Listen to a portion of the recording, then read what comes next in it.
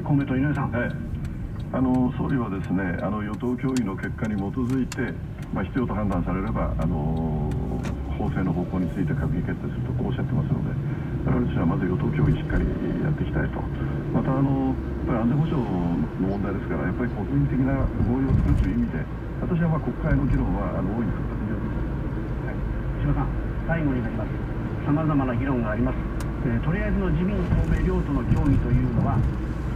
いつ頃までにまとめるお考えですかこれは議論を尽くした上で結論が出るまでやります。見切り発車などします丁寧にやりますどんな反応が出ても答えられるようにしなければいけないし国民の皆様方のご理解を得て最大限の努力はいたします。閣議決定はそこから先ということですねありがとうございました。時刻は10時20分になりましたニュースをお伝えします。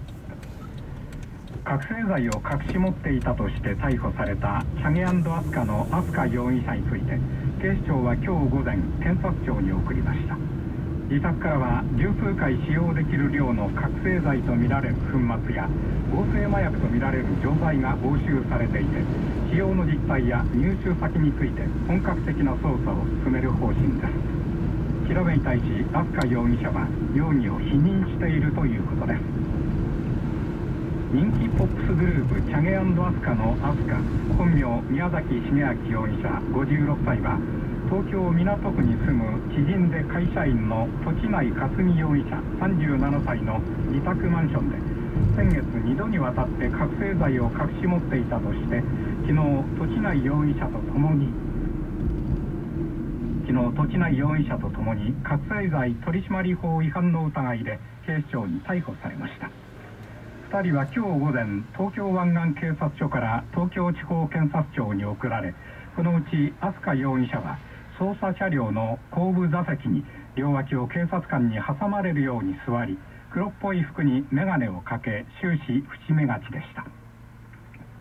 警視庁によりますと東京目黒区の自宅からは十数回使用できる量の覚醒剤とみられる粉末や合成麻薬の MDMA とみられる錠剤などが見つかったほか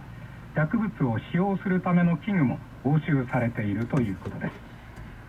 警視庁は違法薬物の使用の実態や入手先について本格的な捜査を進める方針です。ヨーロッパのバルカン半島のセルビアとボスニア・ヘルツェゴビナでは先週から続いた大雨で洪水が相次ぎこれまでに少なくとも20人が死亡し両国政府は非常事態宣言を出して各国に支援を求めています。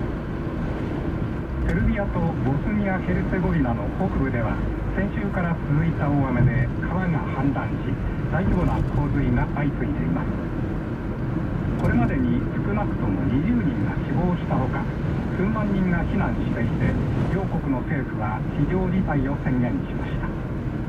およそ2日間の雨量が平年の2ヶ月分に達したセルビアの首都ベウグラード近郊の映像では水没しかかった住宅から赤ちゃんを抱いた母親がヘリコプターで救助される様子が映し出されています。両国政府は各国に支援を要請しスロベニアやクロアチアなど